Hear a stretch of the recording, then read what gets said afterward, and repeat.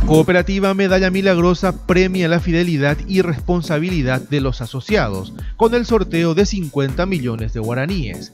Precisamente, el único requisito es estar al día con los compromisos. Eh, los 50 millones van a ser distribuidos en 22 personas.